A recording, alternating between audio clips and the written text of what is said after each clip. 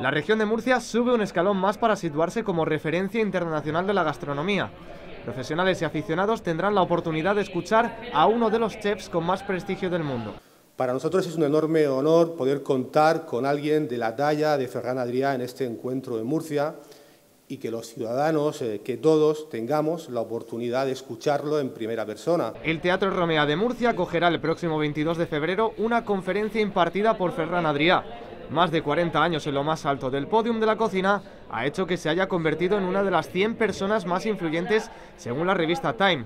El chef busca dar la importancia de la innovación en el mundo de la hostelería en su nuevo proyecto, con el que quiere mantener vivo el legado del que fuera el mejor restaurante del mundo hasta en cinco ocasiones, el Bulli. Tiene tres objetivos clarísimos y el primero de ellos es salvaguardar ese legado del Bulli restaurante, fundamental. Por otro lado, generar contenidos de calidad para eh, ese mundo de restauración gastronómica. Y en tercer y último lugar, y para mí yo creo que lo que más grande lo hace, es compartir.